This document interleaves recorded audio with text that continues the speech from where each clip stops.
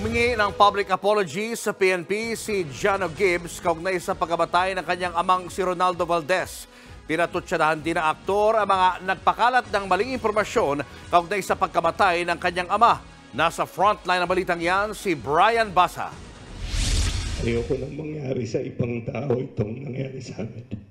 Napaluhan na lang ang aktor na si Jano Gibbs nang humarap sa media kaugnay ng pagkamatay ng kanyang amang si Ronaldo Valdez nung nakaraang buwan. Hindi rin maiwasan ni Jano na murahin ang mga vlogger na nagpakalat daw ng mga malisyoso at maling headline tungkol sa umunoy pagkakasangkot niya sa pagkamatay ng kanyang ama. That's, I think that's the better statement. I do not wish this on anybody else. That's why I'm doing this.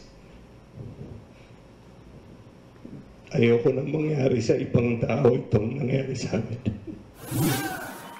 Mag-iisang buwan na mula nang matagpo ang wala ng buhay ang veteranong aktor sa kanyang bahay sa Quezon City. Pero matindi pa rin daw ang tromang kinahaharap nilang mag-anak.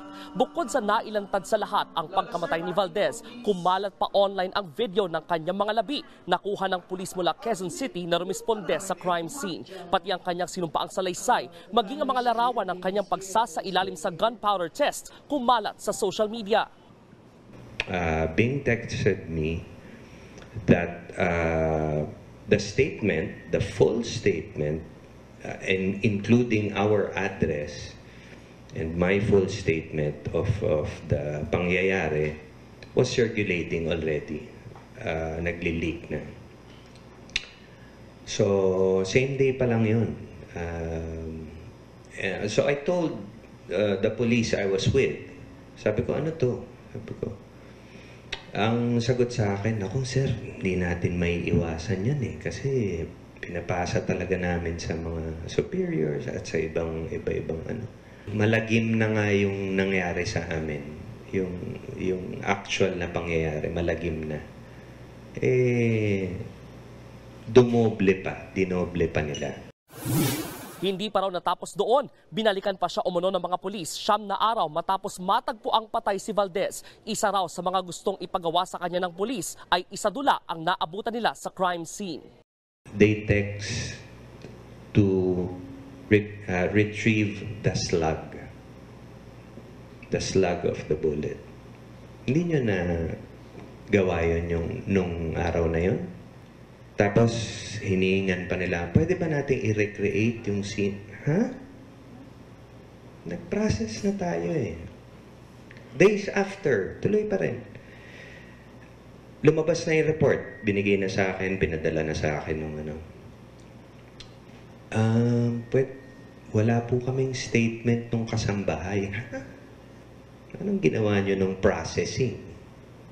Wala lang, nanood lang, gano'n. Para sa kanya, kitang-kita raw na sumablay ang pulis sa paghawak ng kaso. Kaya ang hinihingi ng pamilyang naiwan ni Valdez, public apology mula sa PNP at sa mga pulis na may direktang pananagutan sa investigasyon. Paglilinaw naman ni Jano, hindi na sila magsasampa ng kaso. Pero magsilbi raw sana itong panawagan sa lahat na igalang ang dignidad ng sino mang nagdadalamhati sa pagpanaw ng mahal sa buhay. Pag nag-file kami and stuff,